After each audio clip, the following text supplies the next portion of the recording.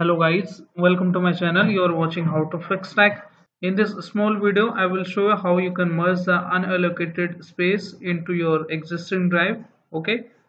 Let's say i want to merge my drive.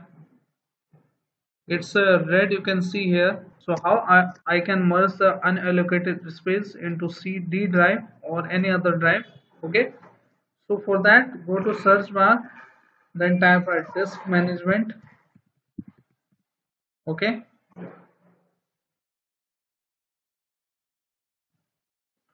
You will see this option create and format a hard disk partition. Click on this option.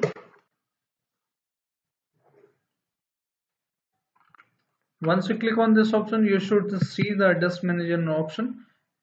Okay? Now you can see here the unallocated space which is okay? So make sure the unallocated space is next to your drive which you want to extend. In my case I want to extend the D drive okay? So I need to right click on the drive and I will get the option extend volume. Click on this option. Extend volume means you are increasing the volume of D drive. We are getting it. We are going to merge into the D.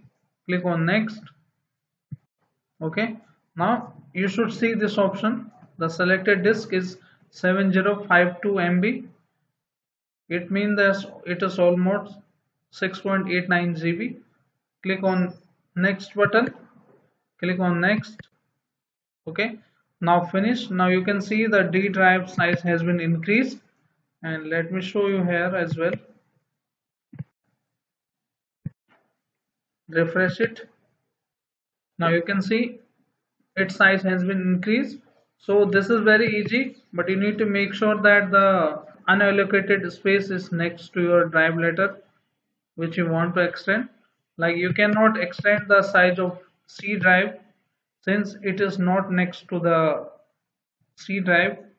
All okay.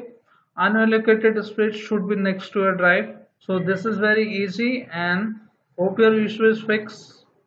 If yes then hit like subscribe and share thank you. Thanks for watching. How to fix that